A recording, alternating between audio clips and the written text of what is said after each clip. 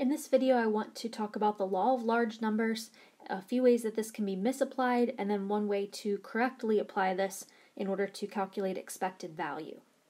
Uh, the diagram that you're seeing here shows um, the proportion of ones that we got in a, a sample experiment uh, when we rolled a die um, about 5,000 times. And this demonstrates the law of large numbers because you can see that the uh, the proportion of ones um, eventually sort of approaches a theoretical probability uh, or what we would expect to see or how often we would expect to see ones show up when we roll a die. All right, so you'll notice at the beginning there's um, a bit of fluctuation. We start out uh, lower than uh, lower than the probability, and then at times we go above, right, and then kind of dip back and forth. But eventually, it sort of levels out, and um, the the technical word for that is converges. Um, so if you've taken calculus, we talk about converging to a limit, and this sort of has that um, that same idea of getting getting really close to a certain expected number All right. Now this is just for a sample experiment. Uh, you could roll a different die a different 5,000 times and your plot might look completely different than this. Uh, because remember, it is possible, like you could roll um, you could roll a die 10 times in a row and have a 1 show up every single time. So in that case, the, the probability or the frequency that you're observing ones would be higher than the expected um, probability over time. Right? So the law of large numbers, let's look at what this says. Uh, consider an event with probability P of A in a single trial. The law of large numbers holds that for a large number of trials, the proportion in which the event A occurs will be close to that uh, expected probability P of A. The larger the number of trials, the closer the proportion should be to, be, to P of A, and this law holds as long as each trial is independent of prior trials so that an individual trial always has the same probability P of A. All right, so let's break this down and look at the things that must be in place in order to apply this law. All right, so first of all, um, we have to know the probability in a single trial, and that probability in one trial has to be the same in each of the individual trials. All right, so it has to be independent. So, for example, if you have a, a drawer that's um, you know half black socks and half white, then if you pick a sock and don't put it back, then the probability of, of getting a black sock is going to change as you continue to draw socks from the drawer. That's not an independent um, type of event. So that's that's not what we're talking about. Um, so things that this law would apply to would be uh, like flipping a coin or tossing a die or any of the, the random things that are independent that we've talked about. Um, another thing to notice is that this law is true for a large number of trials. All right, well, how large is large? Um, I think you can kind of get the idea that we're not talking six trials or ten, uh, but what about a hundred? Is that considered a large number of trials? All right, so one way to test it um, is to just uh, look at one out of how many trials you've done, all right, like one out of a hundred. And then look at what happens when you add in one more trial. Consider one out of 101. And then you look at those two probabilities and see if it's changed a lot or if it's still about the same. So, of course, 1 out of 100 is 0.01, right? And then 1 out of 101 is 0.00990099 and so forth. Okay, so it did change, um, but you know it, it's it's close. It's close to the probability of one over 100. Uh, let's look at what happens if we um, look at a thousand trials, right, versus 1,001. Right, so one out of a thousand. Okay, is 0.001. And 1 out of a 1,001 is 0.0009 nine nine zero zero and so forth. Okay, so again, it's close, uh, but but you may remember the last one. It was two zeros and then two nines and then zeros again. Right. This one has three nines, which means it's it's even closer to this probability than uh, the one out of 101 was to one out of 100. Right. And in general, you, you know, if you if you can see that the probability doesn't change a whole lot uh, when you make that comparison, then you probably have a large enough number of trials. All right, another observation is that this law does not apply in situations that involve skill. So, for example, let's say somebody's just learning how to do cartwheels. Uh, their probability um, of doing a cartwheel versus not doing a cartwheel is not necessarily going to approach one half over time. Um, so it may be absolutely terrible at first, but then as they get better, um, maybe maybe eventually the probability gets close to close to one. Right. So this is quite different than just um, than somebody randomly doing a cartwheel or not. Um, but skill means that the events are not independent because um, you know you're you're building your skills as you perform those events, um, and that affects the outcome of the next event.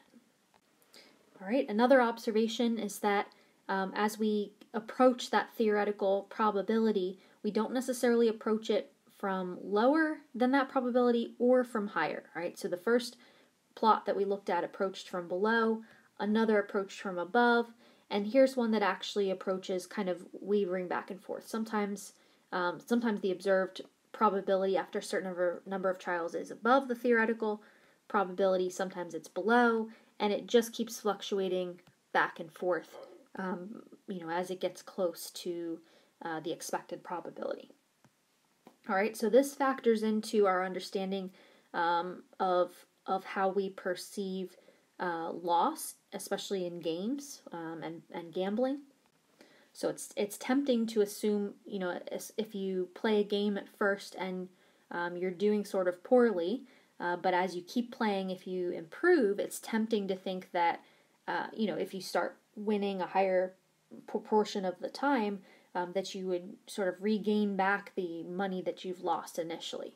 All right, so we can look at this example to see why that's not always the case. All right, so let's let's say we're playing a coin toss game in which we win a dollar for heads, so heads is winning, and lose a dollar for tails. After a hundred tosses, you are ten dollars in the hole because you have forty-five heads and fifty-five tails. Okay, so you've won forty-five dollars um, from from rolling or from flipping heads, but then you've lost fifty-five from getting tails, uh, which means you owe ten dollars. You continue playing until you've tossed the coin 1,000 times, at which point you've gotten 480 heads and 520 tails. So plus 480 minus 520. Does this result agree with the law of large numbers?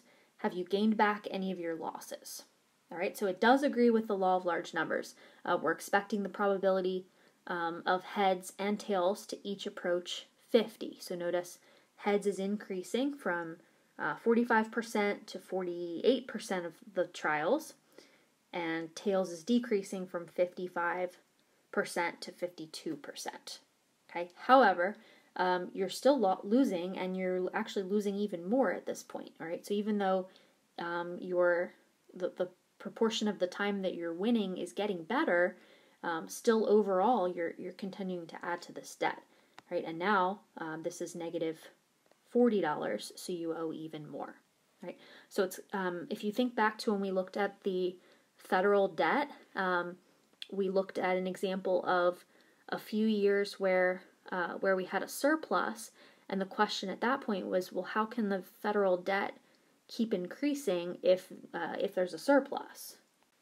And we saw that that happened if um, if the interest that was owed in any given year outweighed the surplus, right? Or um, if you, another way to say this is if you, um, if this person is losing less badly, but they're still losing. All right. So just because you're losing less doesn't mean you're gaining money. It just means you're going uh, more slowly into debt. But you should expect to still see those losses increase over time, though perhaps at a, a slower rate.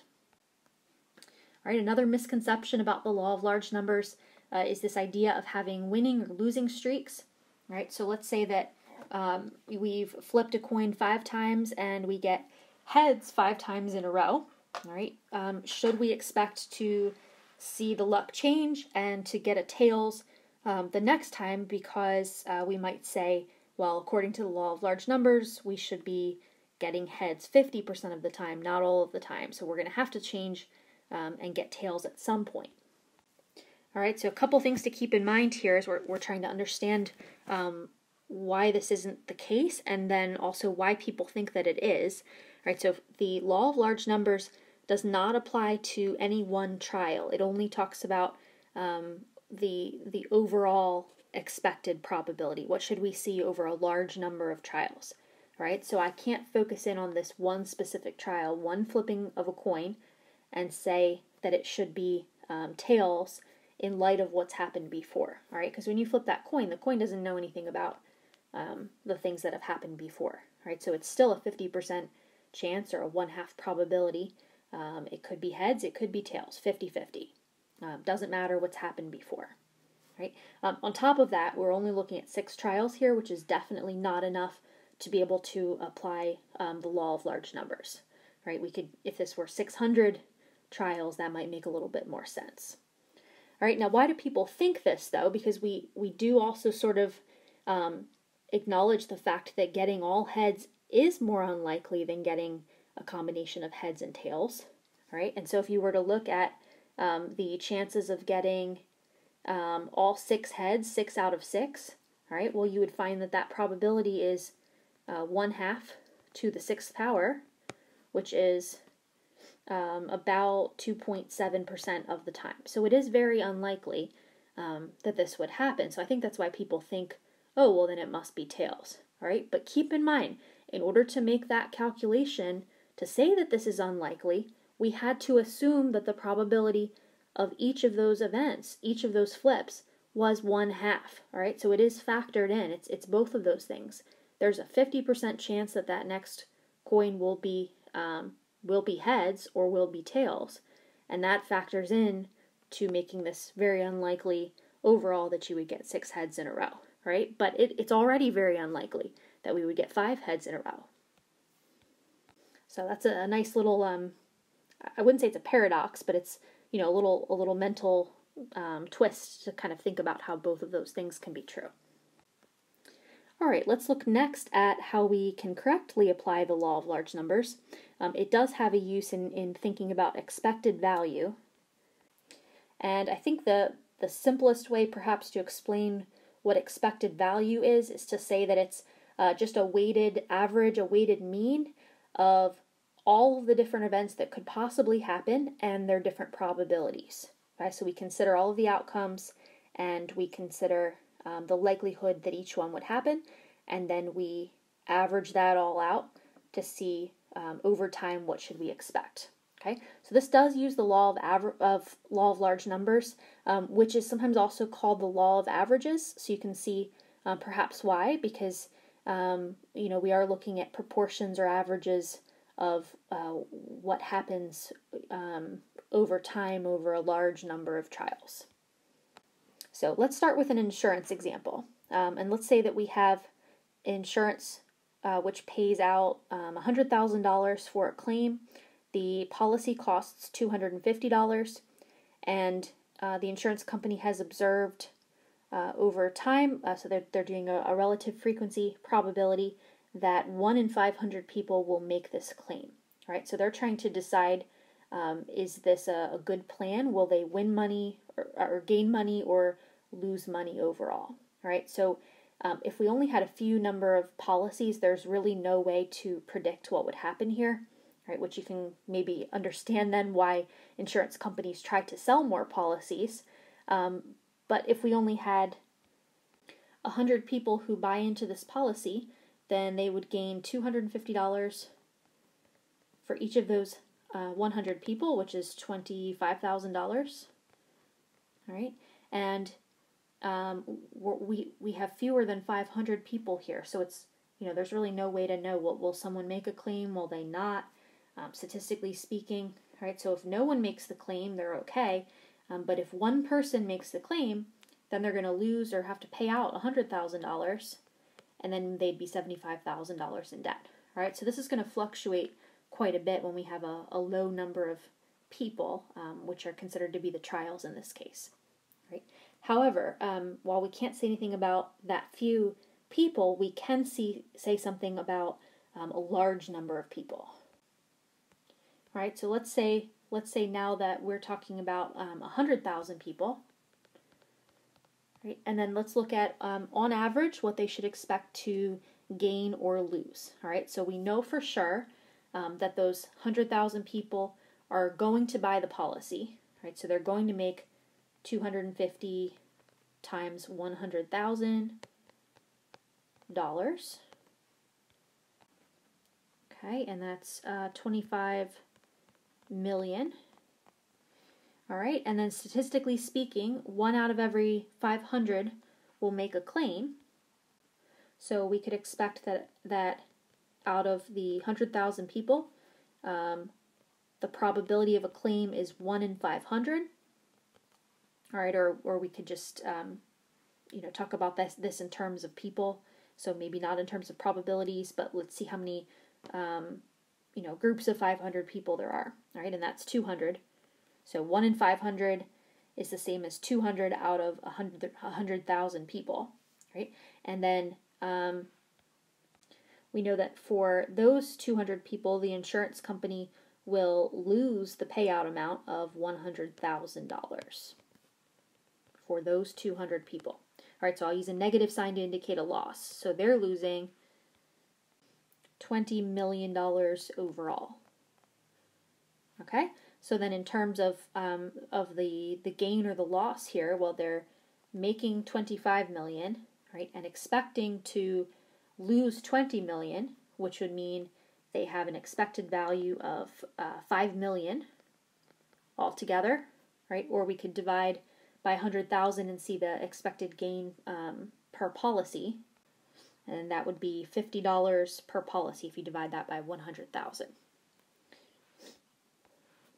All right, so notice um, the law of, of large numbers came into play in assuming that what would happen in these 100,000 cases, or we could call those trials, uh, would be um, would match with this this probability that we've calculated. Okay, so that's that's the assumption, and that's where the law of large numbers is used. All right, um, I thought we would do one more example of, of calculating the um, expected value, and um, I pulled some information from a solitaire game that I play, and uh, I thought I would just walk you through this. So um, this is a combination, I think, of, of skill and luck in this game. So theoretically, the game matches you with people um, who have a similar skill level to you, um, and then and then you go from there. Uh, I think there's probably still some some chance involved in who you get matched with, and then of course you've got all of the other the factors involved in the game. Um, you both have the same deck of cards, so you don't have to worry about getting a bad shuffle because the other person gets the same bad shuffle. Um, but you never know, like there could be um, an internet outage or some sort of distraction or, or, there's you know some other factors involved other than skill. All right, so I wouldn't say that this involves um, the law of large numbers because it's not random independent events every time you play the game, um, but the the expected value principle is, is still at play here. All right, so let me give you some information and we can calculate um, my expected value um, based on the, the probability uh, over which I, I win or lose and how much um, in game currency I should expect to win or lose. All right, so there's a couple different options.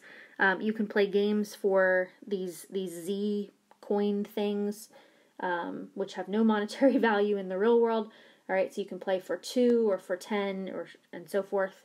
Um, and then they also have cash games, which um, I've never played, um, but they give you all the information. You can play for uh, a dollar or five dollars and so forth.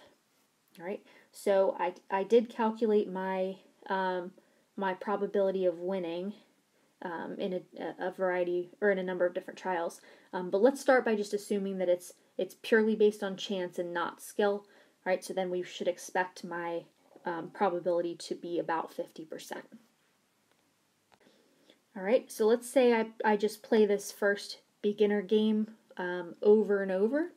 Um, so the we want to find the expected value, we want to consider all of the different um, events that are happening and the probabilities of each. All right, so one event is that I'm entering, right, and the probability is 1 because I'm definitely entering. and in this um, first novice game, uh, to enter costs 1z, so that would be a, a value of minus 1. Um, then if you win, you win 2 z's, and if you lose, you get nothing. All right, so if we assume that I have a 50% chance of winning, 50% chance losing, then my expected value would be um, negative 1z times a probability of 1 plus 2z's times 1 half. So there's a 50% chance that I'll, I'll win those two, right? Or 0z's times 1 half. So there's a 50% chance that I'll um, gain or lose nothing. All right, and then all together, that would be negative 1 plus 2 times a half is 1 plus 0, which would be 0. Okay, so um, theoretically, if, if only chance were involved here and I played just this initial game over and over a large number of trials, um, then I should expect to just balance out and not gain or lose any of these Z's. Okay, now of course they made one little twist to this, and every two hours you can log on and um, claim your free gift of I think it's five Z's or something like that. So I definitely don't log into the game um, that often, but I think that's their little carrot for getting you to to play more often. Okay, now my probability of, of winning is actually slightly different. Um, I'm I, I, went back and looked at uh, a hundred, a hundred and or sorry, no, two hundred and six games, and out of two hundred and six games, um, which uh, you, you can't really claim as a large number of trials, but I got tired of counting at that point. Um, I out of those I had one uh, 0.5097, um, so close to 50% of the time, and then I had lost uh, 0.4903. Okay, so about uh, 49% of the time. So now we can um, just quickly modify the expected value formula and the probability of my entering and losing a z is still 1, but now my probability of winning 2, I would multiply that by 0.5097, and then I would add uh, 0 z's times 0.4903, but of course it doesn't matter, it's that's just going to be 0. All right, and if you do that, you will find that this is um, a positive 0.02. Okay, so uh, so over time, I should expect on average to win uh, 0.02 Z's per game. All right, so if I played a thousand games, I should expect to win uh, 20 Z's, which have no real world value at all. Okay. Um, so now let's look at the cash games and let's look at the uh, the dollar one, and you know we'll look at some of these. Okay, so now to enter for the dollar one, it's sixty cents. Right, winning, you win a dollar, and losing, you get nothing. All right, so if you're okay with this, I think I'm just going to skip the probability of losing because we keep multiplying by zero and that doesn't actually um, affect anything. So really the two choices are just either you lose your entry fee or you win something. Okay, so if we use my um, my probabilities, then expected value would be uh, negative 60 cents times about 50% of the time, or about 51% of the time. Okay, and then plus uh, winning a dollar about 49% of the time. Okay, so what's the expected value? Um, that is negative, uh, negative 90 cents. Uh, sorry, negative, negative 9 cents. Okay, so if I play this game a large number of times, um, if this were completely random and, and just due to chance, then I should expect to lose about 9 cents per game. Okay, it just gets even worse with the $5 games, um, but it gets worse at the same proportion. All right, so if you'll notice a dollar to 60 cents is the same ratio as $5 to $3. All right, so actually, with uh, you can work this out for yourself, but with the $5 games, you the expected value is negative 45 cents. Okay. Um, there it keeps going, and, and believe it or not, some people will actually gamble $300 to play one solitaire game. Um, and the proportion's different here. The entry fee uh, is only um, $175. All right, so if we do the expected value now, right, we would lose $175 for sure for entering. And then if we win, we get $300, um, but I would expect that to only happen um, about 51% of the time. All right, and uh, overall, that's still a negative expected value of losing about $22.09 per game. Okay, which is uh, which is better than playing the. Um, it's actually better than playing the the dollar game 300 times. So if you play that one 300 times, you'll lose $27.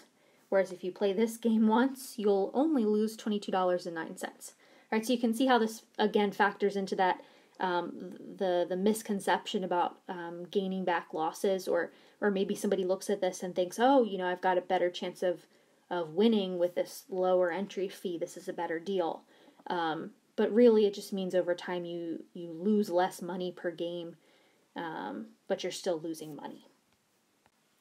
All right, so I think the trick for expected value is that you just need to um, be aware of all of the different events that could happen.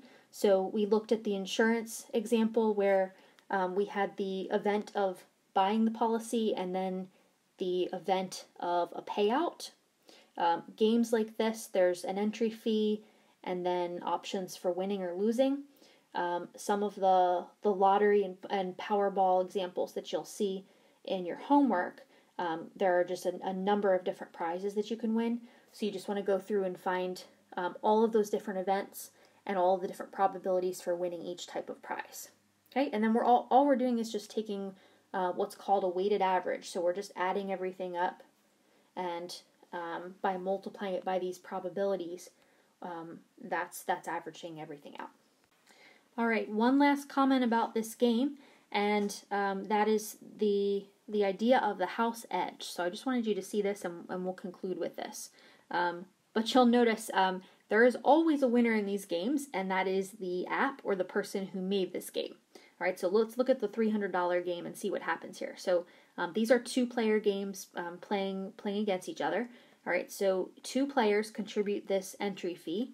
All right, so from the game's perspective, um, they're gaining an entry fee of uh, two times $175, right, which is uh, which is 350 okay? And then they'll need to pay out $300 to the winner, so minus 300.